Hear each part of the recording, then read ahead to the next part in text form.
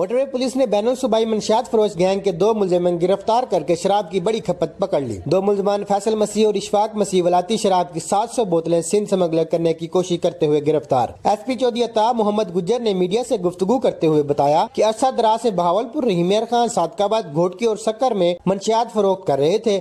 مخبر کی اطلاع پر موٹر وے پولیس نے دوران ناکہ بندی گاڑی کو روکا تو ملزمان نے گاڑی بھگانے کی کوشش کی۔ موٹر وے پولیس نے تعاقب کر کے ملزمان کو گرفتار کر لیا۔ ہمیں خاصی عرصے سے اطلاعات مل رہی تھی کہ شراب فروشوں کا ایک بین الصوبائی گروہ ہے، جو اپنا اشفاق مسیح اور فیصل مسیح ساکن لاہور پہ مشتمل ہے۔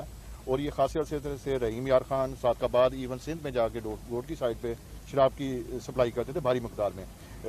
آج رات کو مجھے یہ انفارمیشن ملی تو میں نے میرے ڈی ایس پی طارق صاحب، میں نے ان کو ڈپیوٹ کیا، میں نے کہا اس کو مینوٹلی دیکھیں۔ انہوں نے ایک ٹیم تیار کی، جو محمد یونس، سب انسپیکٹر اور مبشر کانسٹیبل پہ مشکل تھی۔ انہوں نے مل کے آج صبح اپنا احمد پر شرکی کی حدود میں یہ گاڑی جو آپ کے پیچھے کھڑی ہے، اس کو انٹرسیپٹ کیا، یہ ملزمان پاس کھڑے ہیں۔